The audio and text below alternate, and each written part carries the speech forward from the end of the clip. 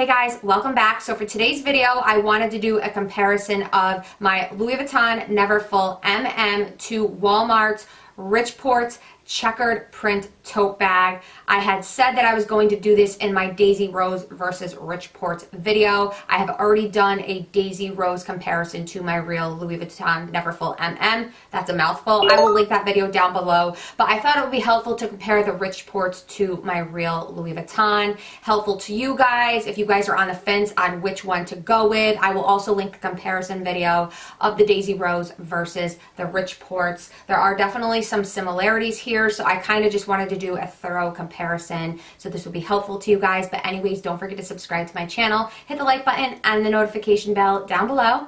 And without further ado, if you guys would like to see the differences between these two bags, then just keep watching. So my regular camera that I pretty much film all my videos with in my beauty room, it's the Canon 70D. It just completely shit the bed.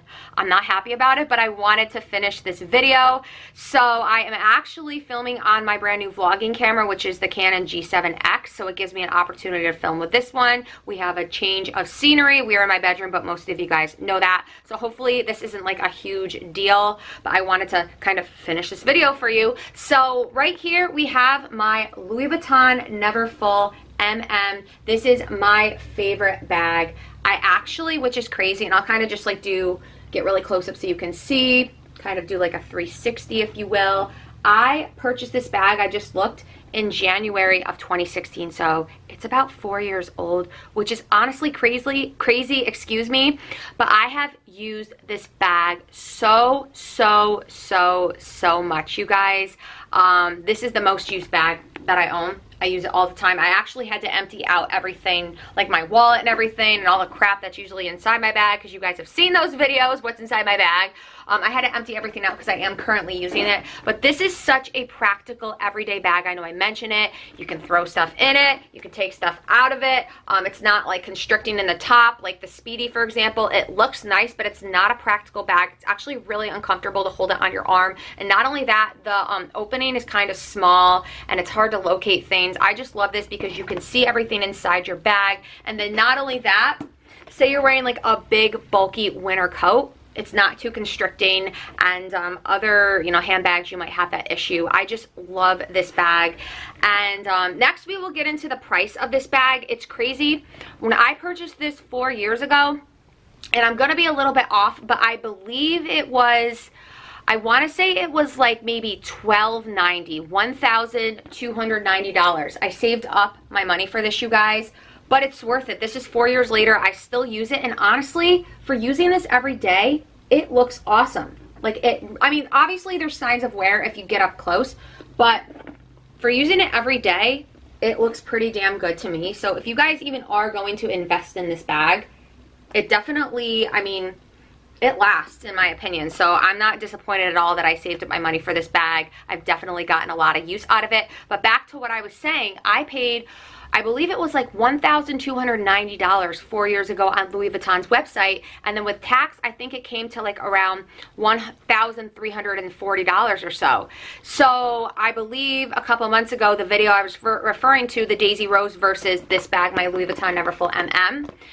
I believe when I looked on their website, this bag was going for $1,430, $1,430. I just looked today the Louis Vuitton Neverfull MM, MM excuse me, is going for $1,500. So they just keep jacking the price up on this handbag. I'm not really sure why. So with tax, this is probably going to be around $1,600. So I'm actually thankful I purchased this four years ago because I did purchase it at a cheaper price. So I figured I would kind of mention that. But this is what my um, Louis Vuitton Neverfull MM handbag looks like. I am completely obsessed with it. So let's quickly show you guys what the Richports looks like. Again, this is from Walmart. If you guys didn't catch that video, the price on this is definitely affordable. It is under $50. I believe it's $47.98. It's a few bucks cheaper than the Daisy Rose. Now, if you cannot afford the Louis Vuitton Neverfull MM, which is totally fine, I totally get it. That's why I make all these videos for you. This is definitely a great option along with the Daisy Rose. It's under $50.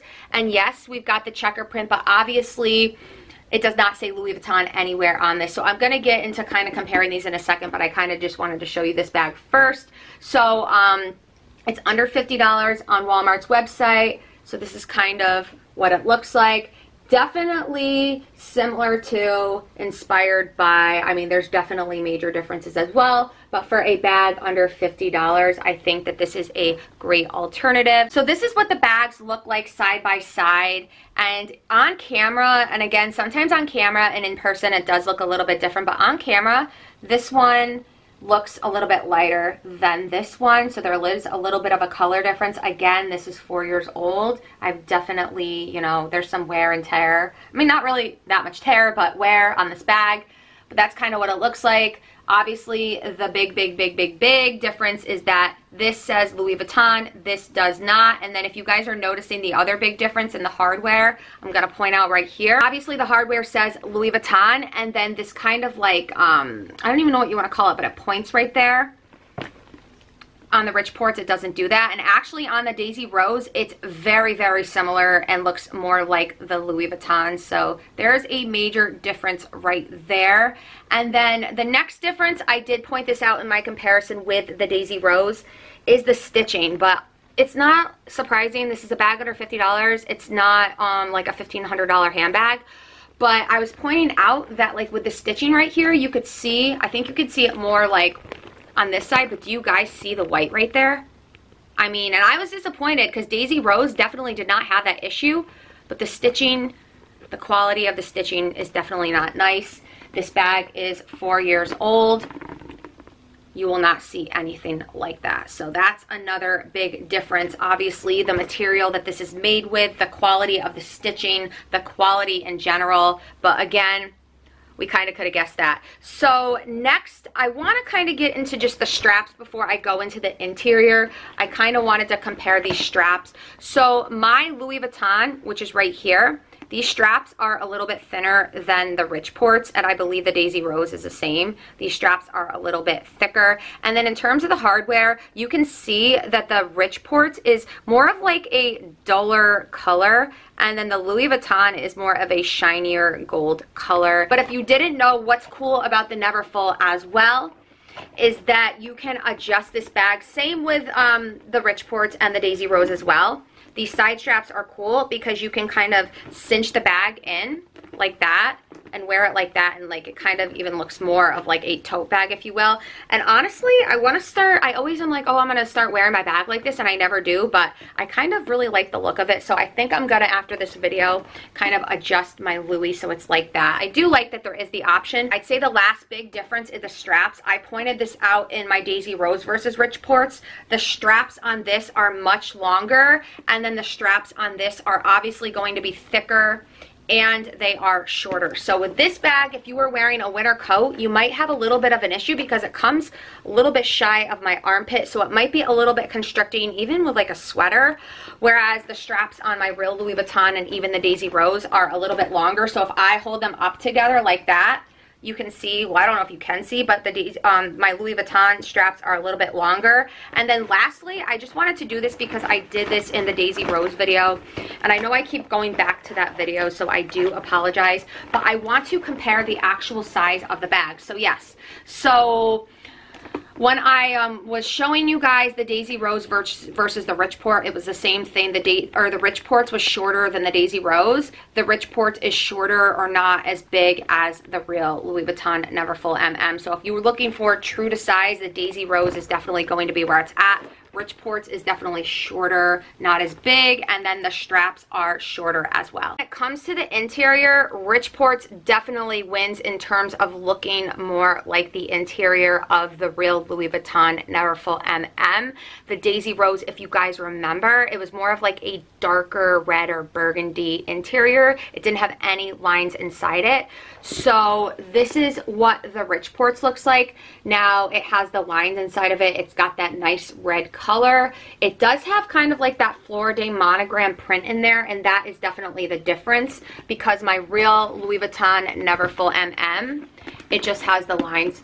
And you guys can um, disregard how like the interior of my bag is. Again, I use this bag all the time. But as you guys can see, it's just lines. It's not like any of that like Florida monogram print. So again, holding this up side by side so you can see. Um, definitely the Rich Richport is more similar to my real Louis Vuitton because we've got the stripes inside. Um, obviously, the interior of my bag is more duller in color because it's four years old but um, besides the little like Florida monogram print it's definitely pretty similar. The Daisy Rose does not have any lines so that is definitely a huge um, you know, difference that Richports actually has over Daisy Rose in terms of the interior. It's definitely a closer match to my real Louis Vuitton. And then next I'm just going to get into the interior pocket. So obviously that's my pocket right there. It obviously has all the Louis Vuitton branding, logos, etc. And then we've got the nice big pocket with a nice gold zipper right there. And then there are no other additional pockets in this purse, which honestly doesn't bother me. And I know that you can buy the organizers that you put in, but I'm actually like okay with it like that.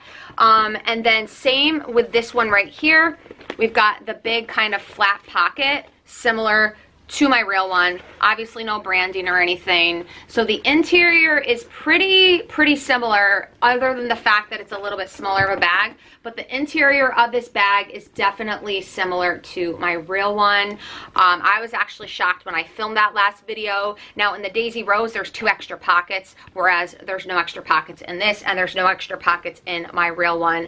And um, in terms of interior, honestly, you guys, I think that's it of course, the material in this is a little bit flimsier than the material in my real one, but obviously there's definitely a price difference there, so that's why. What's great about these tote bags, the real Louis Vuitton Neverfull MM and even this Richports um, checkered tote, is that they come with the wristlets. I love the wristlets because when you don't want to carry around that big ass bulky bag, you can just use one of these wristlets.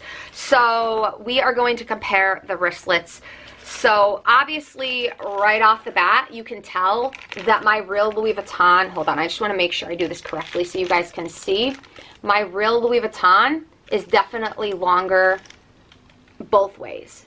As you got, yeah, you guys can see that, right? So it's longer there and then it's longer on the side as you guys can see right there. So this, the Richports is definitely a little bit smaller. I mean, it's not like a terribly big deal.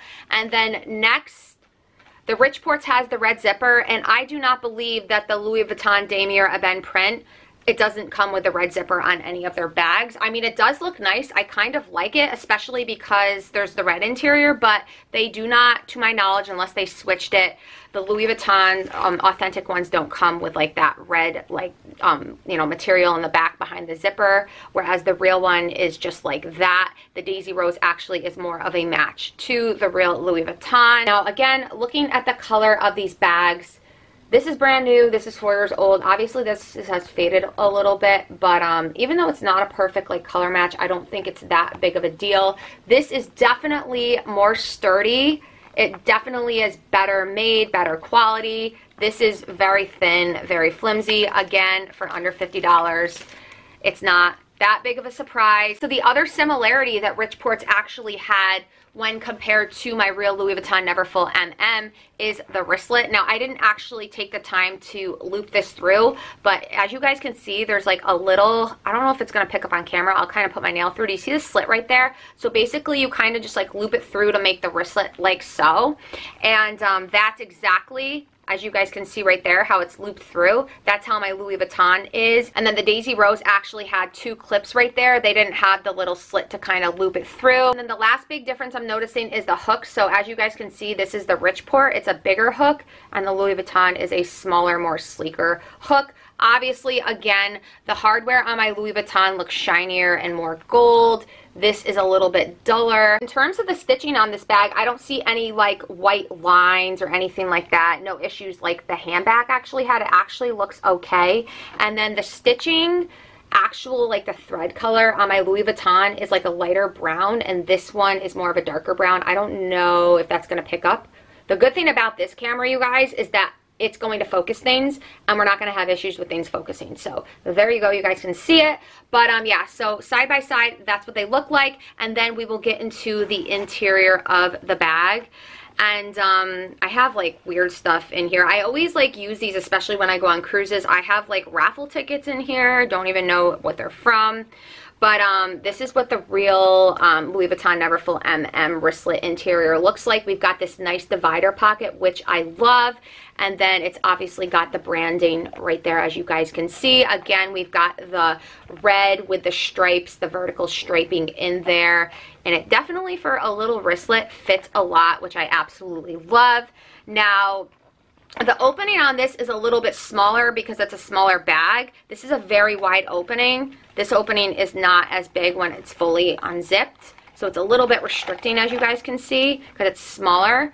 But as you guys can see again, we've got that um, red with the striping, but it's got like the Florida monogram print in there whereas this just has the striping. As you guys can see, there is no divider pocket or anything like that. It's just one big open pocket. So there are some differences, but other than that, I mean, it's not that bad.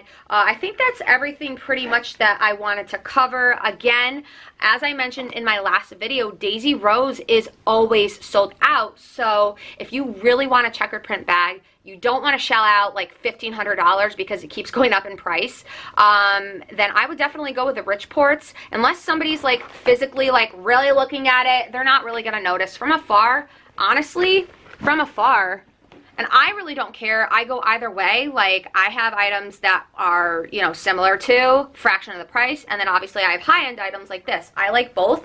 But if you're really far away, somebody obviously again this isn't broken in but somebody would even think it's the real deal. So that's what i'm saying. This is a really um, great alternative. The great thing about this bag too is that they have the white checkered print available. And daisy rose it is always sold out. So that's another advantage they have. And i know some of you guys are saying that you like richports better. Again it's definitely personal preference.